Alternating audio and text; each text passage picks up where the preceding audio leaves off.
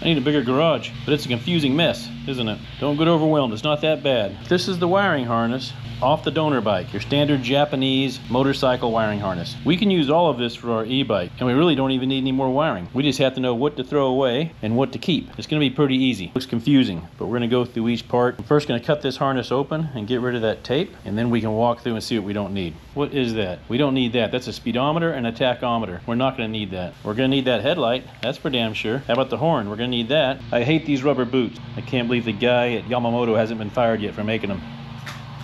To show you the biggest mistake you're gonna make. You've got a fuse box, and you've got the battery going to the fuse box. Goes to the battery, to the positive side. So the natural assumption is, that's where you hook your 12 volt converter to this wire. That will convert everything on here to 12 volt, but it won't because you're going to remove a starter relay. We're not going to need a starter relay. The battery actually goes to the starter relay. The starter relay on the same peg, this would be this one over here, it shares with the same wire that goes to the key switch. And the key switch is that little red one right there. I don't have the key on there, but. So essentially, the hot wire goes from the battery, it's gonna send 12 volts to that key switch, but it does it with this relay in the way. You take your two wires off the relay, remove the whole relay system. You're gonna have to go from the 12 volt converter, not to the one going to the fuse box. We don't need that one anymore but to the one going to the key switch and that's important so that's the one we're going to keep is that wire coming off the starter relay to the key switch now there'll be another wire on the starter relay and it goes to the starter. We don't need that. But the wire that goes to the wire bundle is the one we're gonna keep and that's the one that we're gonna use for our input. It's not gonna be hooked to the battery. That's what's gonna confuse you. It's gonna be hooked to the starter relay. The wire going from the starter relay to the battery is a throwaway wire. And that's this one here. And I know it looks important because it's on the fuse box but that's okay. This part of the fuse box or this fuse that goes to the starter relay is almost a whole separate system. It's not part of the fuse box. So if you take your fuse box and this side's hot all these are hot. But not this one. That's the starter relay one so we're going to remove this from our system. We'll, we'll still keep it. It's going to be on the fuse box, we're going to get rid of those two wires. We don't need that one going to the starter relay. Because remember, we've got the one going to the switch over here. Then the other one that comes off there was feeding this whole system to charge our battery. And it comes off the rectifier regulator on the stock bike. This is taking AC input, AC volts from the stator, and it's turning it into that red wire. And it's feeding 12 volts DC into the system via that starter relay. It's not going into this. So it goes from the rectifier regulator, it goes out to the relay, from the relay to the key switch. When we turn the key switch on, the orange wire becomes hot. The orange wires come back in and feed all your stuff. That's your 12 volt system is these orange wires. But to get power there, the red wire. So we can get rid of this. We don't need it.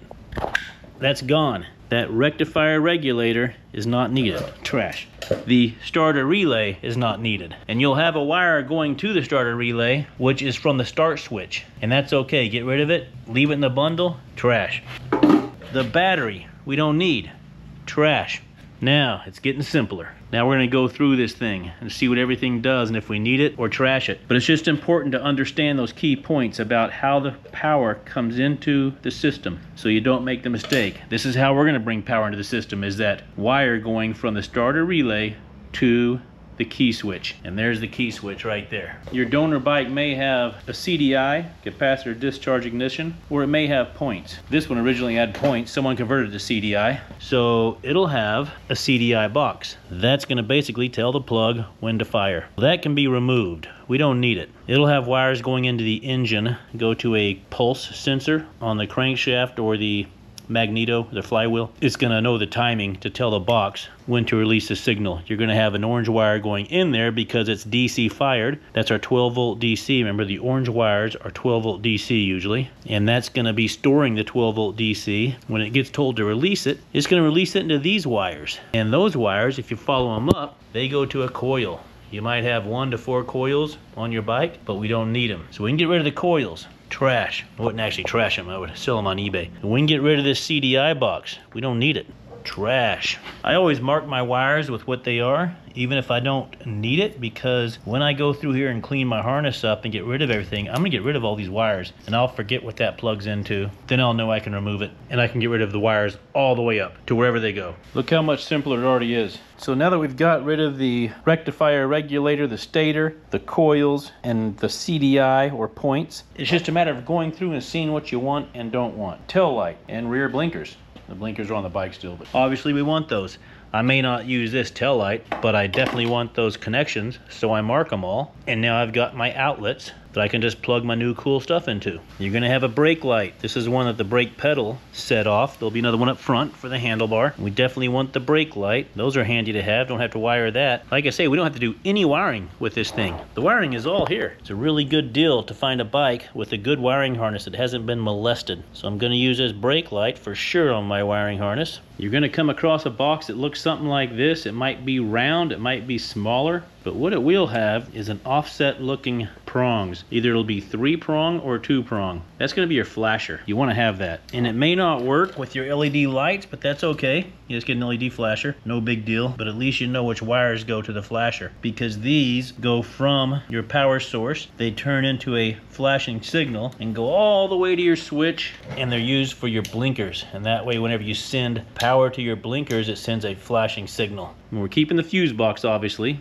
even though these two don't do anything here, but you can use those two between the power input and that red wire going to the key to protect the system. Even though it may be 96 or 72 volts, that fuse is based on amps. It'll still work. But these are not hooked to the main system. If you have wires coming off and going to the engine like this, they're going to be a temperature sensor or your oil pressure sensor. And that's all they'll look like. They'll go to the motor get rid of that wire. You'll never use it. It goes up to the dash and gives you an oil light or it displays your water temperature. This right here this is a gas tank sensor that tells you your gas level. Looks like this one only has a ground and the signal wire. I mark it gas tank I take it off, throw it away. As I'm going up the harness, we're gonna end up with all these wires we don't need, like the starter relay, the coil wires, that engine temperature sensor wire. But some of the stuff we come across, we're gonna keep, the wires.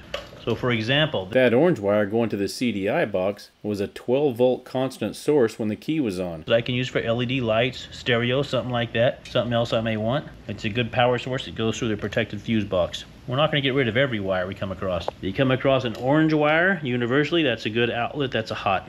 That's going to be 12 volts. In the same way, usually a black wire with a white stripe is going to be your ground. So here's a good hot and ground combo right there for sure. So we don't want to get rid of all the wires, just what we know we're not going to use. Going further up, we come to the handlebars. Got the right handlebar with the throttle. It's got a start switch. That was this one here, starter relay, but that's important. We may want to keep that. When you press that, it sends 12 volts to this, and that's pretty cool. And it's got a kill switch. Those are nice switches. You may want to keep these switches. You can pull this apart, get rid of the throttle, and just keep that switch housing. You might want to use this as a reverse, and you might want to use this as something else.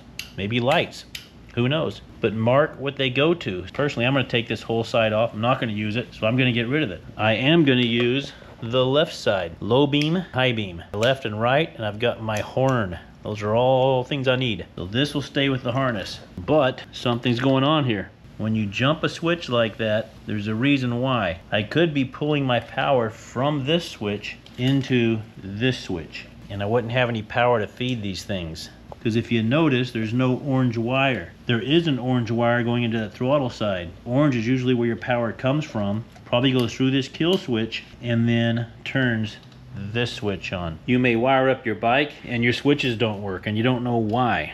So just keep that in mind when you're taking everything apart mark this switch. Since I'm not going to use this throttle side, I may have to feed 12 volts to this independently to get this whole switch system to work. So I'm going to mark this. I suspect it's 12 volts from the other switch, and I don't think this is providing 12 volts to that side. And the reason why is if the switch came loose while you were riding and fell apart, that would be hot, bouncing around on steel and grounding out and causing a fire and a short. But if you notice, the one it came out of is covered in plastic that's probably the hot one. That way, if it comes apart while you're riding down the road, it's protected by that casing. and mark it just how you know it from throttle side. I think it's a 12 volt source from the kill switch, but I don't know that. So I'm not going to put kill switch or 12 volts or anything like that because I'll forget about all this when I go to wire this thing. And if it has kill switch or anything like that, it'll throw me off. Moving on up, we get to a horn. We definitely want that. It's already wired. It already goes to a button over there. Yeah, what more could you ask for? We're gonna keep the horn. We get up to the front of the bike. I've got the key switch. We're gonna use that. Left and right blinkers. That's all normal. And then I've got this thing here. This is the clutch safety switch. So I'm gonna tape these together just in case I need it. This clutch switch can screw you. Right now the clutch is open. This is so you pull your clutch in before you start your bike.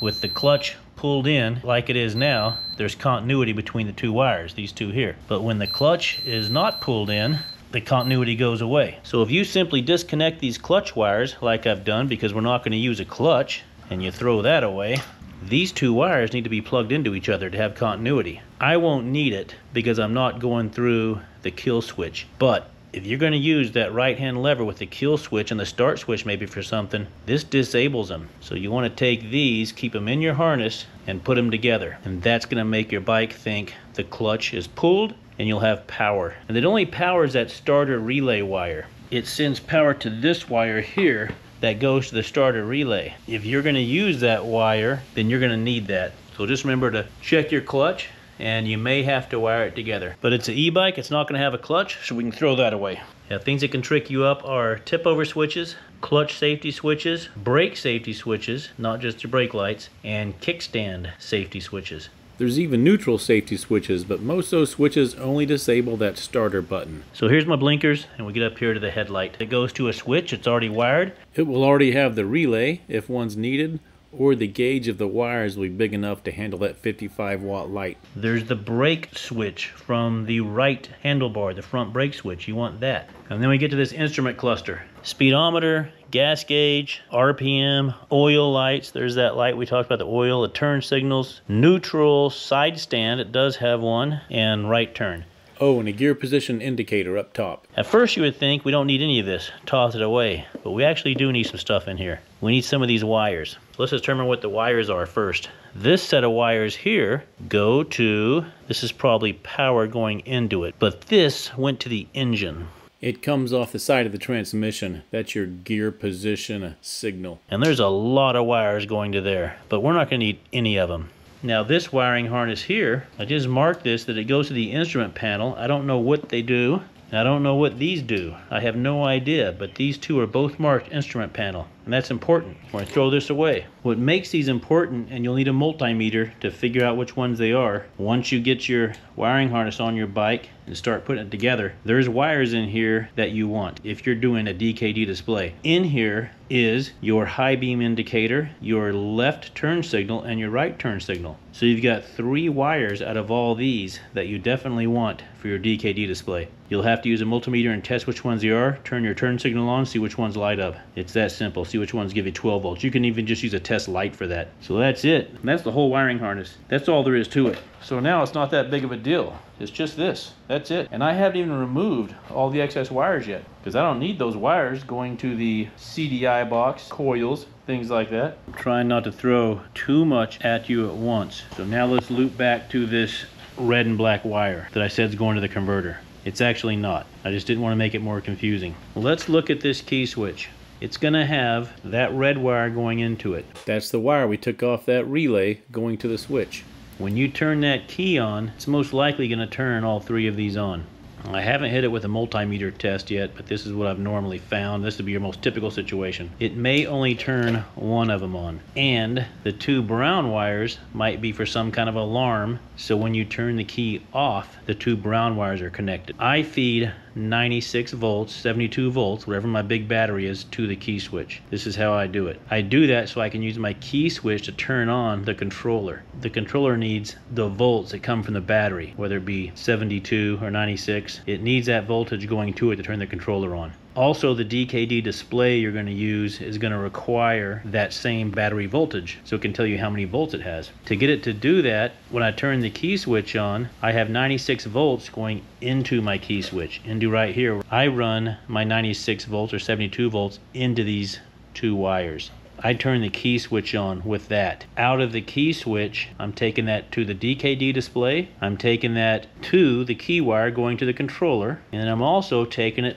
to this converter. So when this orange wire comes back here to my fuse box, probably this one here because it's got the burned up part on it, overheated. I'm just gonna guess it was this one, but I'll have to find out. So this orange wire going to my fuse box will be 96 volts. I will cut this and here's where I will convert it into 12 volts. Now I have 96 volts going into here, and then I'll also run 96 volts into here. It'll come out as 12 volts. So this orange wire coming from the key switch, if this is the one, I haven't found out yet, will be hooked to here. Then this yellow wire will go into the fuse box where that one came out, like that. This wire will be gone, of course. That's no longer there. I'm gonna cut it, put that there, this here, and I'm turning the 96 volts from the key into 12 volts and feeding my fuse box. It's nice to turn your key on and have everything come on and that's how I want it. So this will not go to the converter. The converter is going to happen over here right before the fuse box. I just always save telling people that for last so I don't confuse them with the first part of it. And I say both wires but only the red wire is going to go there with the 96 volts. So I've marked that one 96 volt to key. That's going to get the system started. It's going to turn to 12 volts over here and this is my 12 volt ground, my common ground. We won't have any engine grounds, so we won't have any chassis grounds. The ground's gonna be self-contained, it's gonna be floating. So if you have something old school, like let's say this blinker right here, and it only has a hot wire and it uses the chassis as a ground, you're gonna have to add a ground wire. Now the ground going to the battery can go right to the converter. You can't use the frame as a ground. I mean, you can. Matter of fact, that frame is grounded right now. It's for a whole different difficulty problem. The two grounds from the 96 volt system and the ground from the 12 volt system, they end up sharing each other's ground. And you can't help it. It happens in the converter. So what happens is... If you're touching 96 volts, and then touch that frame, you will get shocked. Also, you could get 96 volts to go into your 12 volt system. And it does some damage. It cost me a new controller because of that common ground. I also blew up one of these Android Auto things, all because of this frame is grounded. Grounding your frame is a really bad idea. And it cost me probably seven, eight hundred dollars for the controller and the display, nothing I can do. I just got to eat it because no one's going to admit fault. The truth is this engine was defective from the factory. I talked to China. I did actually get them to admit it was defective. They sent me parts to fix it. And I have no freaking idea how to fix that. So I'm just aware that's a ground and I've got these parts. Maybe I'll try to figure it out and make a video on it. They should have sent me a new motor. They didn't. Typical China. There it is. That's it. I know it looks ridiculous, that big bundle right there. But on the 70s and early 80 bikes like this, they used to hide the whole wiring harness behind the headlight. It was a nightmare. So everything went behind the headlight and then it went out to the various areas. And I'm gonna put all that wiring, I really didn't wanna cut it up. I'm gonna put it under the tank.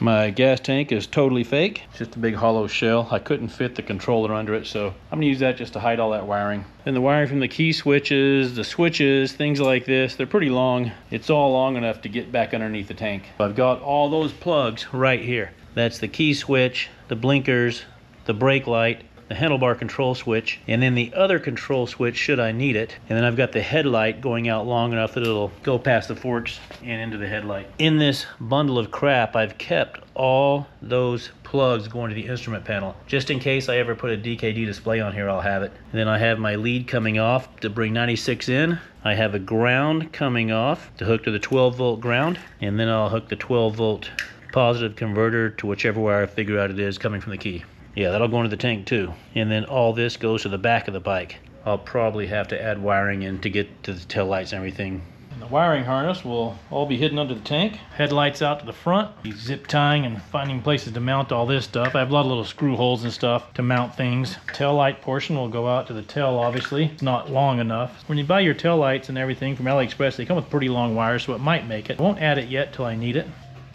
The tank will go on top of that gonna look cool.